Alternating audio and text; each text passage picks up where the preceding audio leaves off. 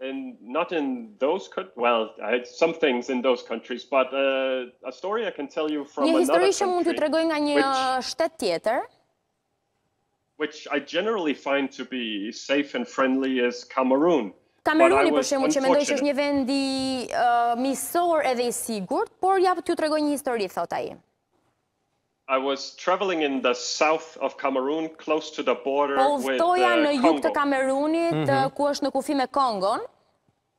And this was in the middle of the night, it was about 4 a.m. in the morning. Dhe në mesin e natës, në orën 4 të mëngjesit.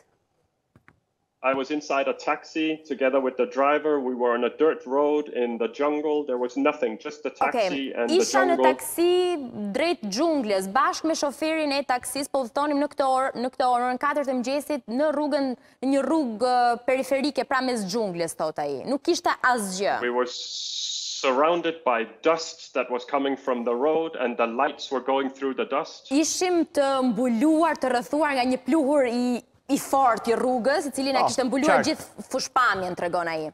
And then suddenly we see three shadows in the light and wow. we stop the car and these are armed men and they are uh -huh. armed to the teeth they are drunk out of their okay. mind and dhe they pamë, were në atë moment really dhe në atë moment pamë tre hije të njerëzve mm -hmm. dhe më pas mm -hmm. kuptuam që ishin tre burra të cilët ishin të armatosur ishin uh, hajdutë të cilët ishin dhe të pirë edhe kishin edhe armë ata na drejtuan armët Mhm.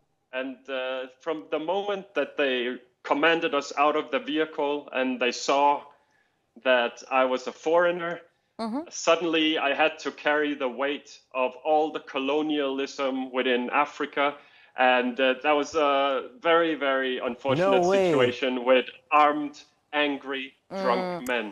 Është një situatë thot shumë e vështirë sepse në atë moment pasi ata na ndaluan, na kishin drejtuar dhe armën, ata na detyruan që të dalim nga makina, ishte një moment që përjetova gjithë situatën e kolonializ e kolonive, po, kolonizimit të mëparshëm, ku ndjeva gjithë atë urrejtjen, edhe trazirat që kanë ndodhur dhe atëherë në atë moment përplasje, sepse mhm. kishte përballë tre burra të pirë të armatosur, të cilët ishin hajdutë, të cilët e kishin ndaluar në mes të xhunglës.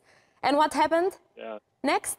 So I have a short military career when I was younger, and uh, I know what to look for in these situations. I know how to behave in Po, kam pasur një karrierë uh, në ushtri pak më përpara dhe e dija se si ta përballoja një situatë të tillë.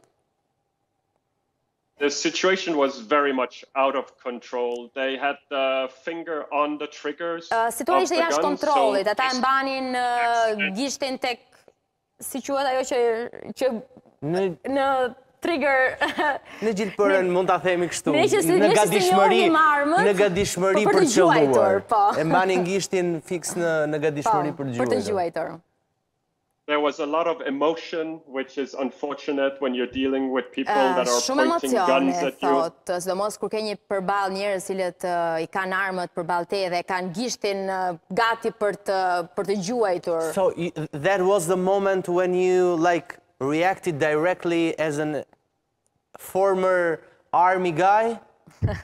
Kjo ishte momenti që ti reagove si një djalë që ke qenë pjesë e ushtrisë. And then you try to do the best you can not to escalate. Yeah, escalate. Upset, uh, escalate. Uh -huh. In this case, I thought there was no situation I could leave uh, this scenario alive. I thought this was the last moment and that I would die within seconds or within really? minutes. So ai ka menduar se do vdiste në pak sekonda, që ishte momenti i tij i fundit edhe pse u përpoq që mos ta agravonte situatën, por ta mbante yeah. nën kontroll. Would you say that this was like a really thin line between your life and your death?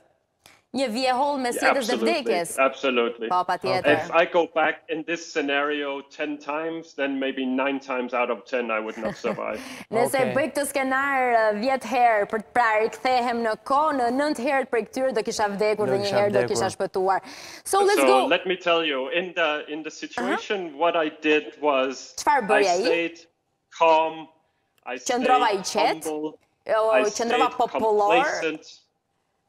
And uh, in, at the end, I think this is what got me out of this situation. Dhe but it wasn't ishin, a fast situation. Këto ishin ato veti të cilat më bënë që unë të shpëtoj nga kjo situatë, kështu që kini kujdes në rast se ndodheni situata të tilla.